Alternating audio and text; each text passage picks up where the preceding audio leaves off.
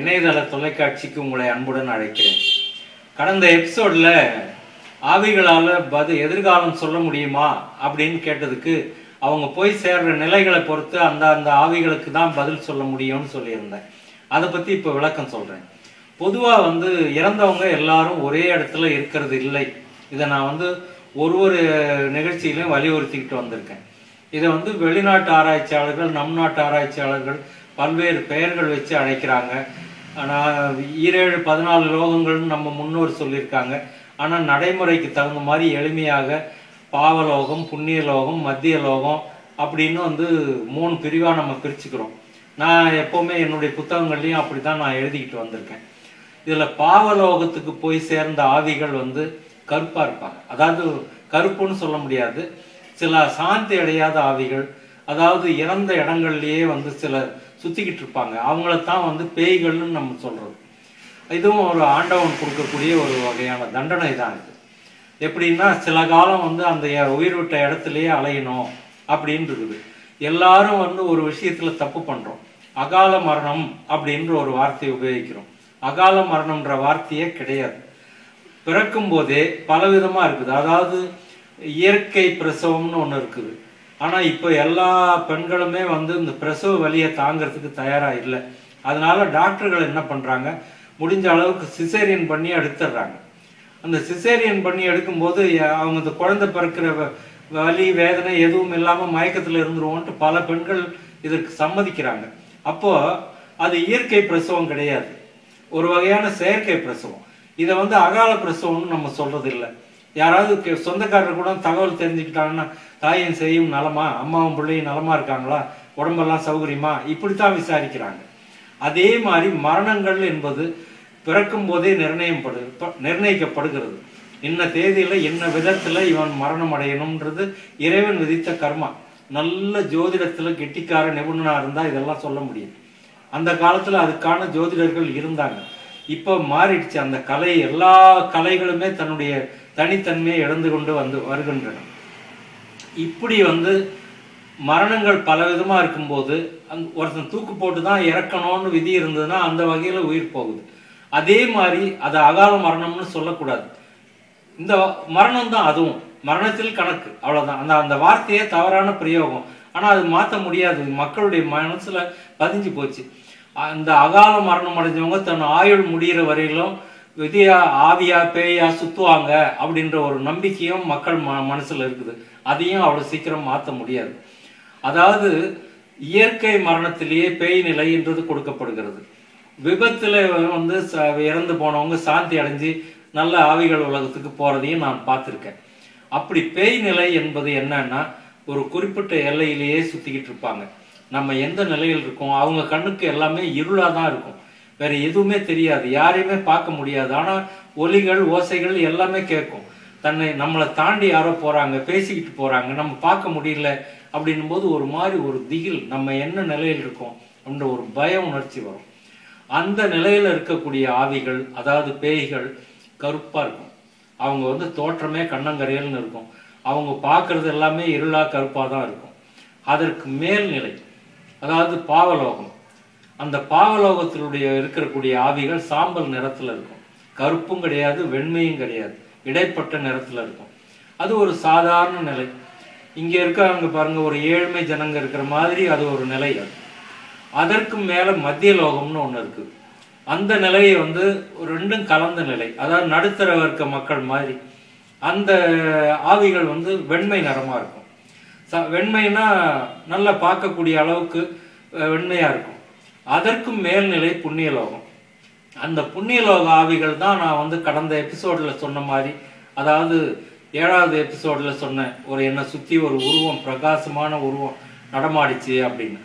அந்த ஒரு நிலைமை நல்ல பிரகாசமாக இருப்பாங்க. அதற்கும் மேலே மேலே மேலே மேலே பல நிலைகள் இருக்குது. அவங்கவுங்க புண்ணியத்துக்கு தகுந்த மாதிரி. மேலே போக போக போக பிர பிரகாசம் கூடிக்கிட்டே போகும். அவங்களுடைய ஆற்றல்கள் அதிகமாகிட்டே இருக்கும்.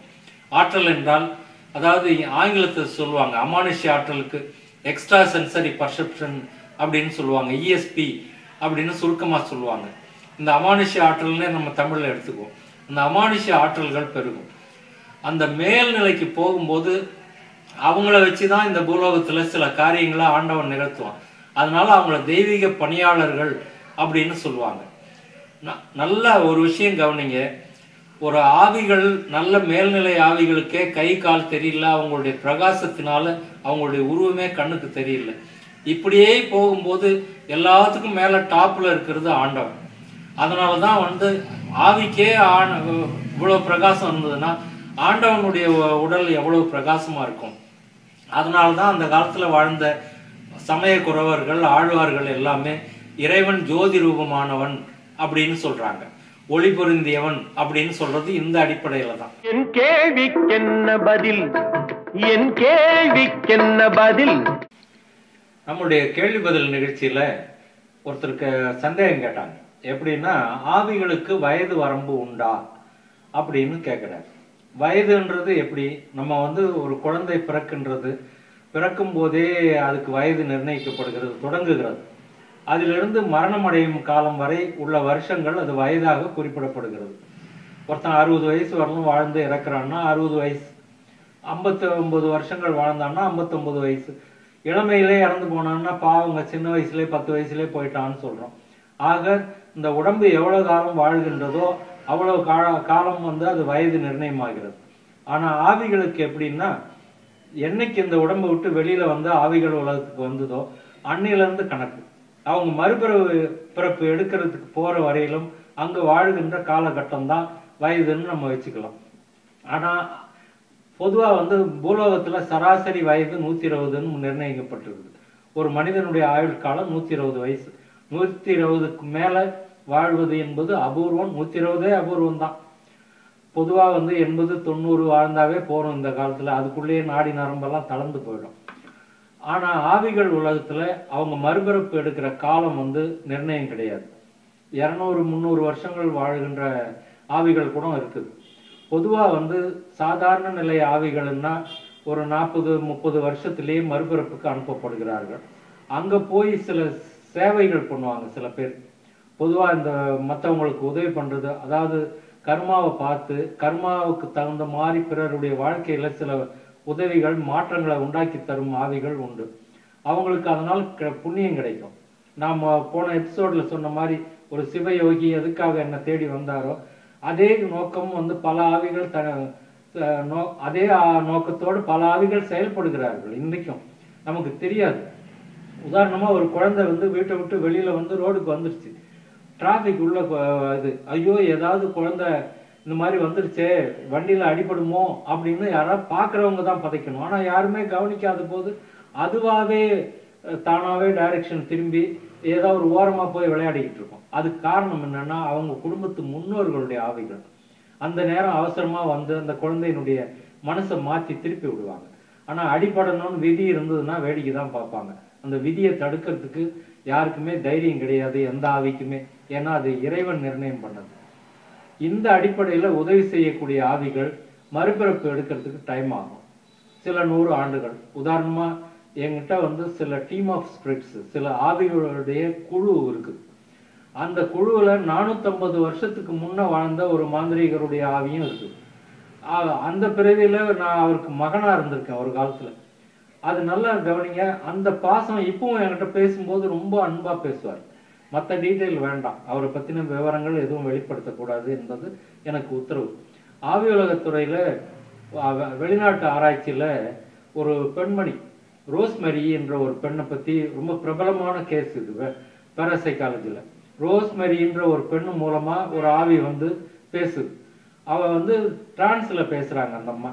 அதாவது மயக்க நிலையில ஆனா அந்த வார்த்தைகள் வெளிப்படுதில்லை. அந்த வார்த்தைகள் என்ன பாஷைன்னு யாருக்குமே புரியல. வெளிநாட்டு ஆராய்ச்சியாளர்கள் இப்போ இதெல்லாம் கேட்குறாங்க ஆனால் இது எ- எங்கேயுமே எந்த நாட்டிலையுமே இல்லாத ஒரு பாஷை அது.